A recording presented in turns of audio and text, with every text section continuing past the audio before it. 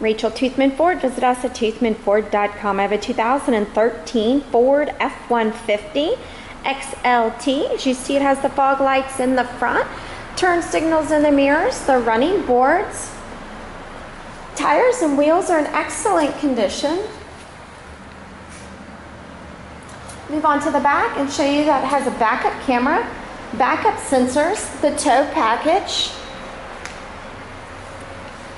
a bed liner, and a power back glass.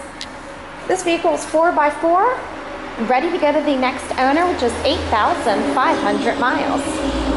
Two sets of keys and keyless entry.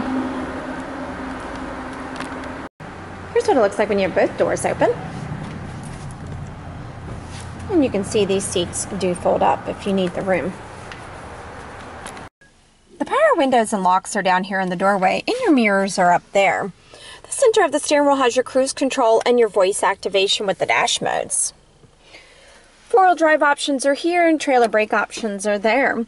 This vehicle's AM FM radio, CD player, satellite radio, Bluetooth capability, and all your auxiliary hookups. Climate controls are down here. Plenty of cup holders and storage space. You have cloth interior throughout. To see this Ford or to test drive it, visit us at toothmanford.com. And remember, cars cost less in Grafton, and we'll prove it.